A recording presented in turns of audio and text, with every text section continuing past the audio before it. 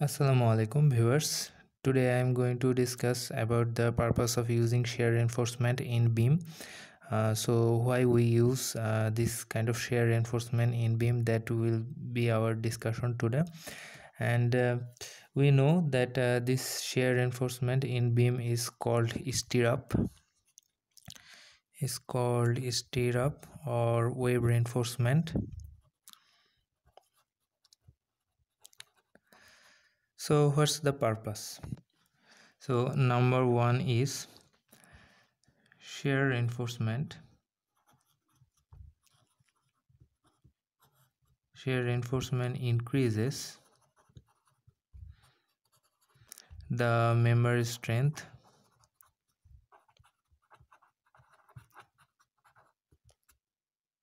Against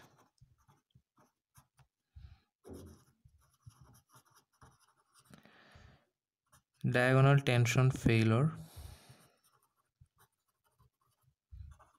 by one is uh, direct transfer of shear force. And another is uh, improvement of aggregate interlock. So first i will discuss above all this. This is uh, here it says that uh, shear reinforcement increases the member strength against diagonal tension failure. So what is diagonal tension failure? It's already uh, discussed earlier. It is uh, nothing but here this is support this is support. Here you can see this kind of failure this kind of crack can be developed in uh, beam section. So here we provide if we provide here shear reinforcement like this and uh, this is uh, here uh, so this uh, reinforcement will uh, will increase uh, the member strength against this kind of shear this kind of failure so this kind of failure uh, happens due to uh, maximum shear force in this part at support so this is uh, uh, direct uh, transfer of shear force. And this is how uh, this kind of failure uh, removed. So here uh, this shear reinforcement is direct transfer the shear force and improvement of aggregate interlock. So here's the aggregate and this aggregate is interlocking easily how improved the interlocking system and that's how this improves the against um, diagonal tension failure so second purpose is number two. Number two is uh, nothing but it it helps that means uh, shear reinforcement helps helps to maintain to maintain the intensity intensity of compression zone so when you draw this kind of beam and this is a simply supported beam and here a load is developed. So here's the load. So if this load here uh, this uh, this loads impact here is the impaction and this will uh, throw a wave like that. This is impact uh, impaction wave. So due to this wave here uh, crack will be developed crack will be developed due to this wave. So here if we uh, if we establish some shear reinforcement uh, that means stirrup so here this crack can be removed. So stirrup will be the precaution against uh, this uh, kind of crack so for this kind of load here the beam uh, will face kind of something kind of this kind of crack severe crack and uh, this is due to uh, maximum bending force here and uh, uh, this is called flexural crack and this is in the compression zone so we provide uh, shear reinforcement. So third one is third one purpose is it improves it means uh, it means uh, shear reinforcement. Shear reinforcement improves improves the members ductility.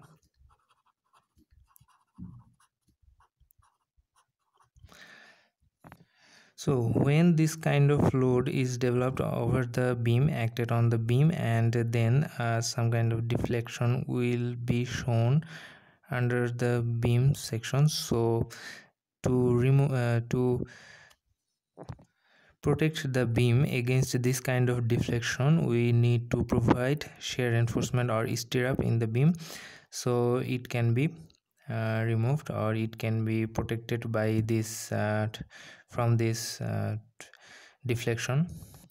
So another purpose is remains. This is uh, very important. It helps it helps to maintain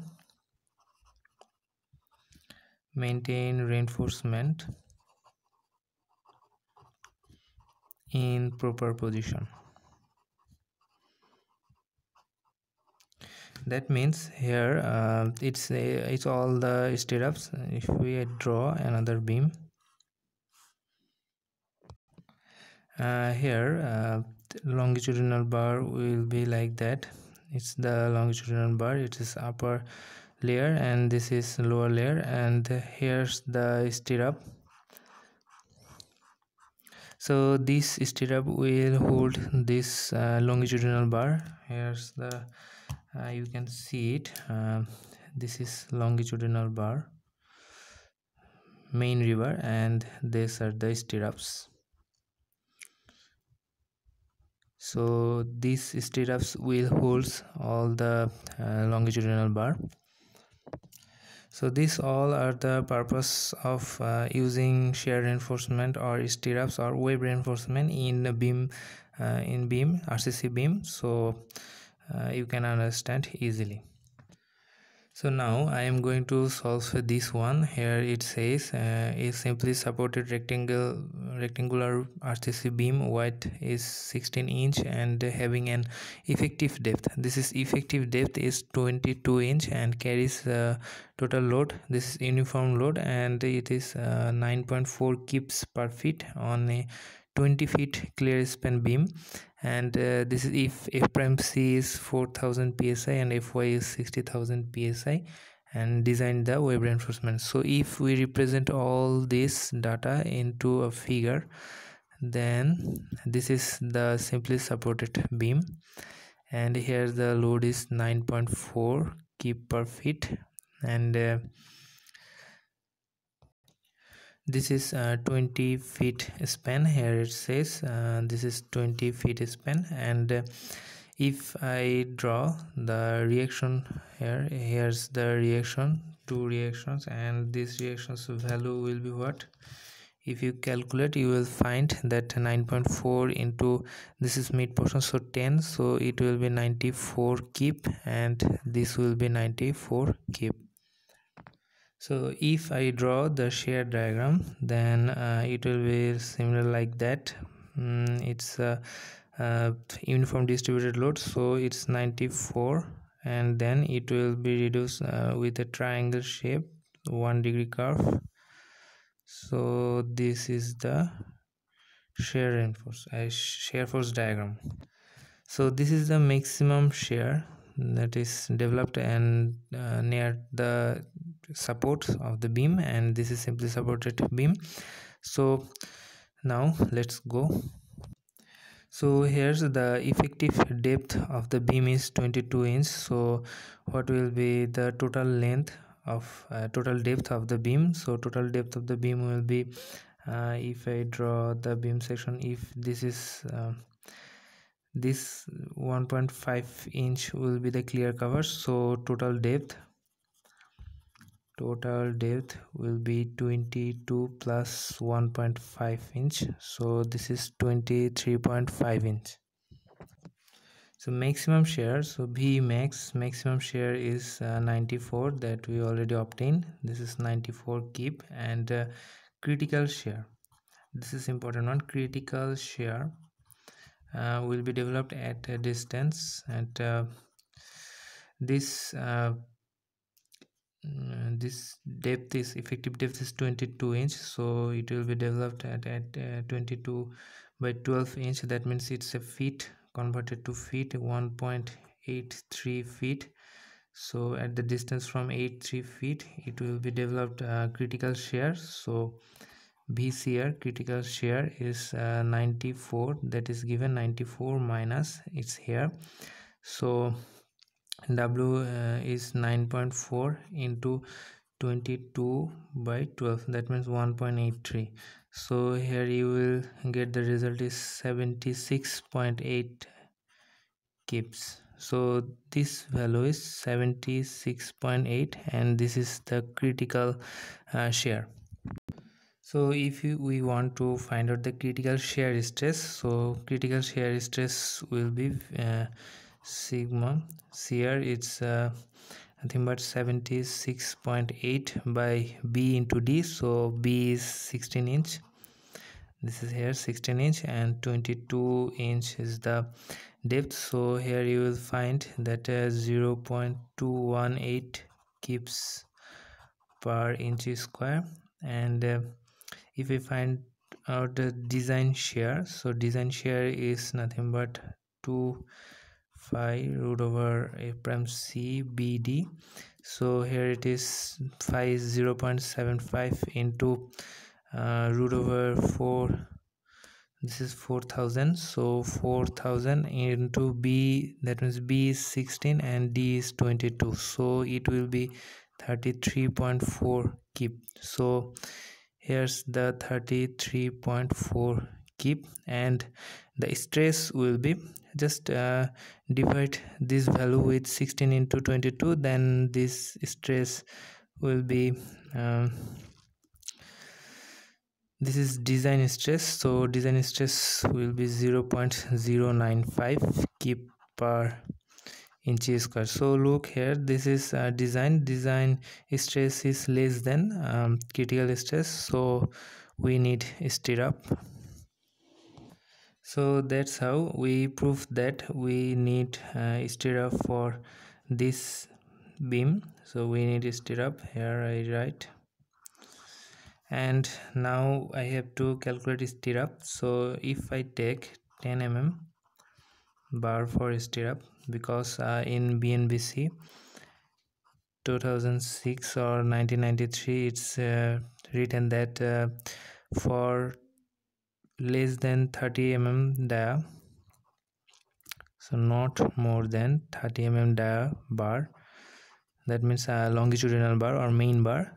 For this the stirrup uh, dia will be 10 mm and uh, above the 30 mm so above the 30 mm for this uh, stirrup will be 12 mm so here for this uh, kind of beam it's uh, simply supported and here if we think this is uh, less than 10 uh, 30 mm dia bar is used so 10 mm bar will be uh, applied so the uh, area of this 10 mm bar is uh, 0 0.11 inches square so if we use in stirrup then they're both side stirrup here stirrup here stirrup so it will multiply with 0.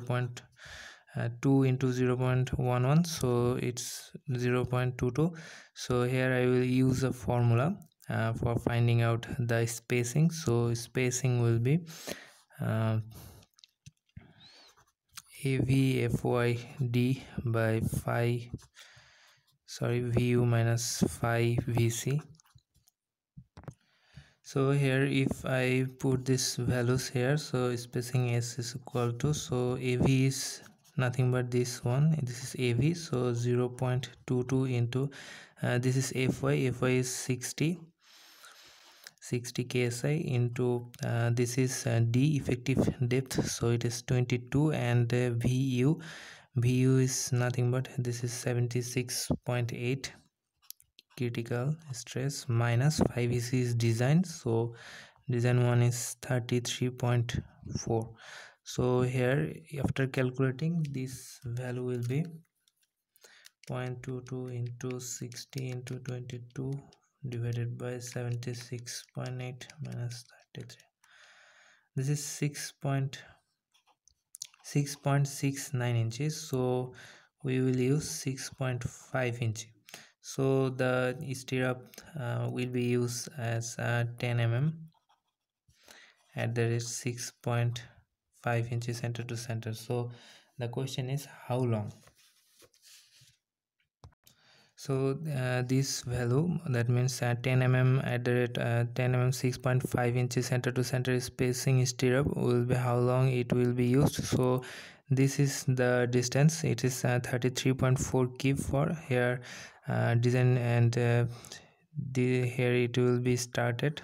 And sorry here it will be started and this uh, long. So from here the value is this distance i need to find out and this is i can find from uh, similar triangle method and this distance is 10 feet because this is 20 so this portion will be 10 feet. So if i use similar triangle theory then i will find this is 94 94 by this is 10 so 10 feet is equal to if i take this d as a 10 minus x so here it is 33.4 divided by 10 minus x. So after calculating this x value will be 6.45 feet. So here uh, the value this is 6.45 feet 6.45 feet. So along this distance here uh, this 10 mm at the rate 6.5 inches center to center stirrup will be used. So rest remains. That means uh, this is total 10 feet and this along this value is 3. Uh, 3.55 feet. So here what's the uh, what kind of stirrup will be used? So so here stirrup spacing will be uh, s is equal to d by 2 that means uh, effective depth is 22 by 2 this is 11 inch and another is s is equal to avfy by phi f prime c b. So here it will be 0 0.22 into 60000 divided by phi is 0 0.75 into uh, 4000 f prime c into uh, b value is 20 um, sorry 16 inch. So what will be the value? Sorry here uh, need to be correction. This is uh, root f prime c. So the formula is root f prime c. So here the spacing will be 17.39 inches. So this is uh, two calculation. One two and another is this spacing is finding for this 3.55 feet uh, distance. So this third one is s is equal to av fy by 50 into b. So this one's value will be 16.5 inch. So here what is the minimum? So minimum is 11 inch so here you can see this is 11 inch. So this one will be here. So 10 mm dia bar at the rate 11 inch center to center will be provided in this section. So now i will show you the detailing of uh, shear reinforcement. So here is a beam and here uh, this two is column and this is the beam. And here the main reinforcement main rebar that means it will be like that. This is top layer and this is the bottom layer. So the here's the clear cover. Uh, clear cover is uh, 1.5 inch. 1.5 inch and 1.5 inch. So this is the support for this beam and these two column. And you should remember that uh, the, from this support first stirrup will be not exceed 2 inches. So at least uh, this uh, this first stirrup will be uh, situated between 2 inches. So it's 2 inch. Here you should remember this. You should have to keep it. And first stirrup I put down and this stirrup will be uh, continue like that. Continue like that in this position and I will mark this position as we know uh, this is uh, 6.5 inches spacing and it will continue to 6.45 feet. So if I take here it is 6.45 feet and this is 3.55 feet and this is also 3.55 feet and this is 6.45 feet. So here the stirrup will be uh, from here and end here. And so these stirrups are uh, 10 mm at the rate 6.5 inches center to center. And next one. So for this 3.55 and for this 3.55 it will be um, larger spacing. So this is uh, for 10 mm at the rate. It's uh, 11 inches center to center. And after that it will continue with the first one. So this is so this is 10 mm at the rate 6.5 inches center to center. So this is the detailing of uh, shear reinforcement. So this is stirrup stirrup detailing that we calculated from this problem and this is the solution. So thank you for watching this video. Assalamu alaikum